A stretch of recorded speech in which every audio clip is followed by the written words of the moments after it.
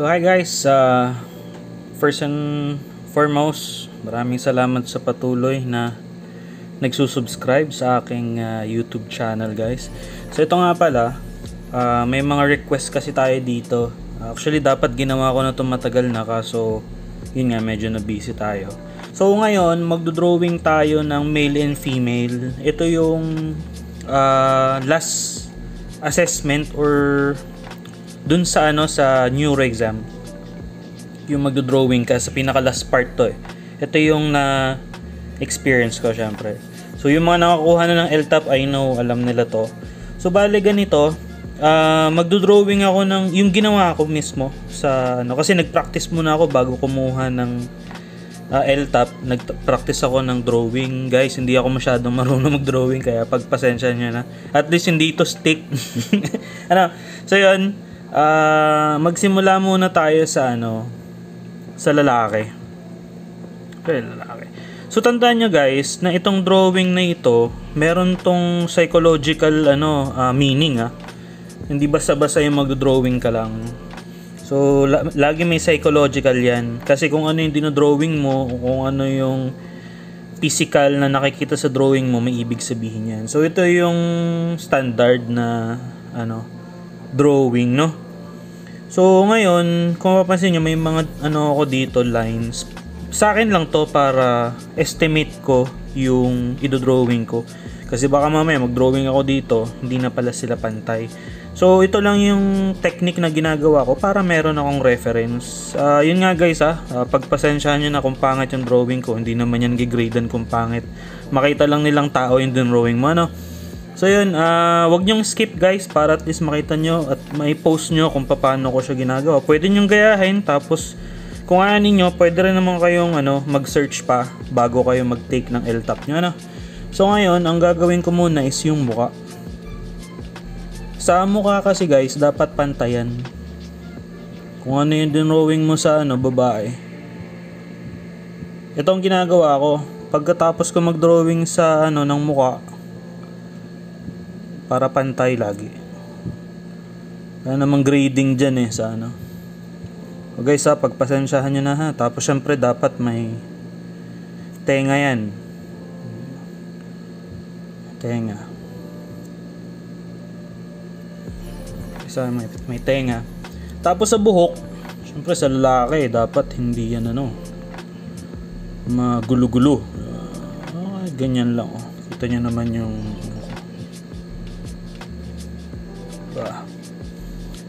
tapos uh, simpleng book lang guys. Hindi nyo kailangan ng ano hindi kailangan ng pagandahan dyan ng drawing basta makita ng nag evaluate na tao yung drawing mo no pagkatapos nyo ng buhok ng lalaki yung babae naman. Ganun din sa babae. Tapos syempre yan. Ganyan leeg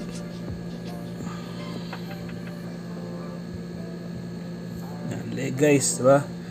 May may ano na, may pagkakaiba na. So syempre sa babae, syempre dapat long hair. Long hair. Simpleng hair lang ganyan. Tapos uh, guys, yung ano nga pala, damit no. Uh, depende yan ha. Syempre dapat yung standard na damit. Hindi yung nakahubad yung drawing nyo kailangan may damit. Kasi sabi ko nga sa inyo, merong psychological ano yan, description. So, 'di ba? Yung shoulder, shoulder din, yan, para pantay. 'Di ba? Tapos yung braso, yan, braso. Pantay lagi sila. Diba? Damit. So, syempre, simpleng damit lang. T-shirt. Uh, Siyempre, lagyan yung konting shape kasi para malamang babae. Diba? Uh, sa lalaki naman, kahit straight na lang yan. Okay na yan. Alam na nila yung lalaki. Diba? So, dapat pantay yun ha. Ayan.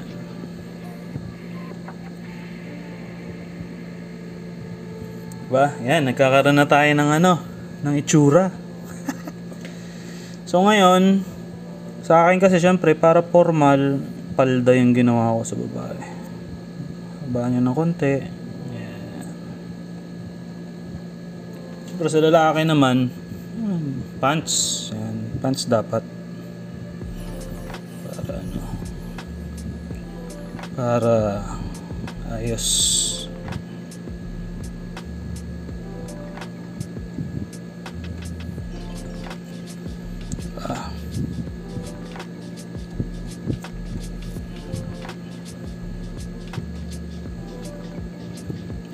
Ayan. Siyempre, estimate nyo ah, yung paa. So, ganyan. Ayan, lagyan mo na ganyan.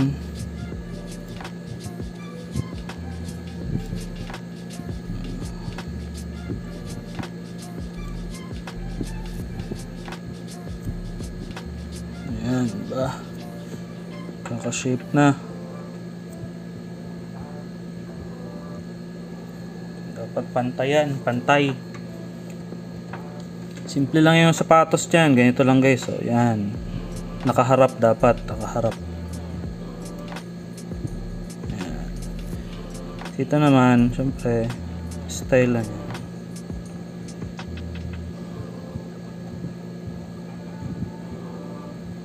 Yan, di ba? So, yan. Sa lalaki, ganun din. Hindi nyo kailangang pagandahin yung drawing nyo. Ba- Basta makita lang na ano, yan na itsura. Itsurang tao. Ayan. Di ba? Pantay sila. Ngayon naman, sa kamay tayo. Siyempre, pag magdo-drawing kayo, nyuro, kailangan naka-open yung kamay. Paano yun? Ito, di ba? Yan. Muna.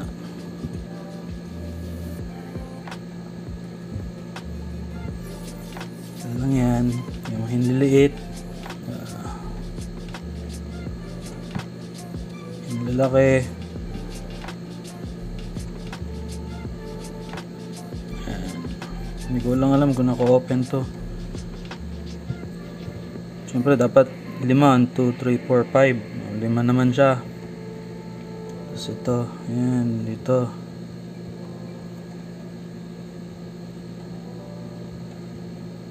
Liit.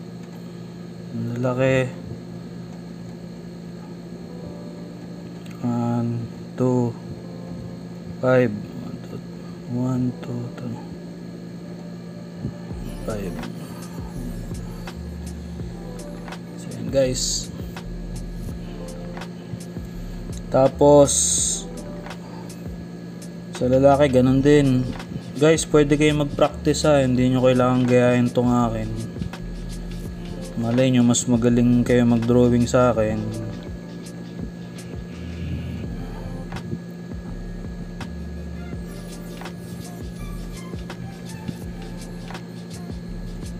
Ang gulo ng kamay ko. Parang hindi kamay. Basta ganyan lang ha. Pwedeng mag-practice pa kayo.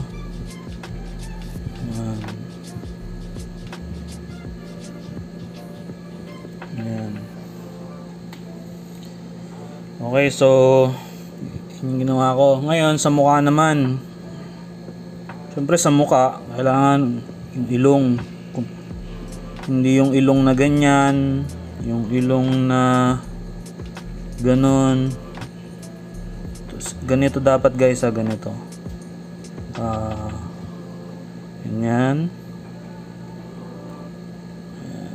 Ah, ganyan na. May, may ano. So, ilong muna. Lalaki, ilong muna. Siyempre, dapat pantayan.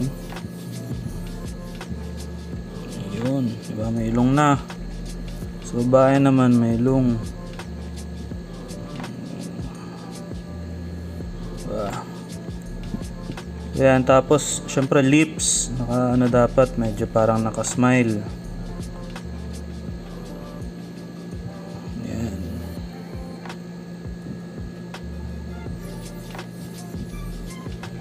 Guys, sa tandaan nyo, hindi pagandaan ng drawing sa neuro.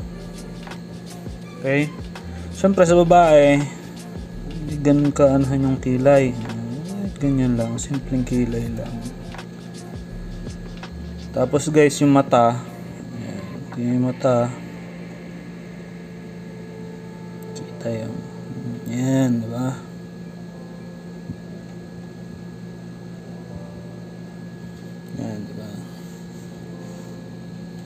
So yan, babae na yan.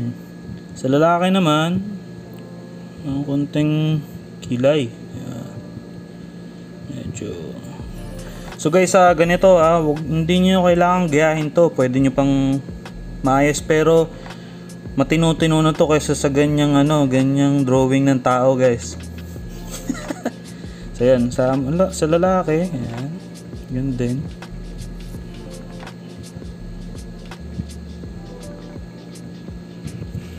Yan. So sa kamay guys, pwede nyong ah, baguhin to. Ano, hanap lang kayo sa Google na yung basic lang na pang kids. Surely dapat ka ganito eh. Sa kamay, yung parang naka-open talaga siya. Kung kaya ko pa.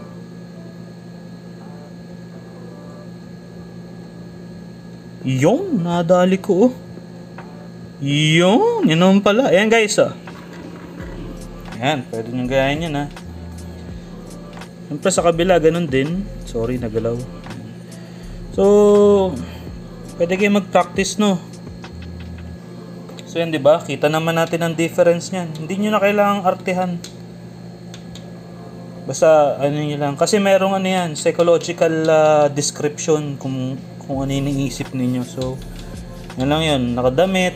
Siyempre, palda sa babae. Yan. Sapatos. Okay? So, good luck sa pagkuha ninyo ng L-top. Huwag nyong skip sana ah, para kita ninyo kung ano yung, paano yung ginawa ko. Thank you guys! Yes!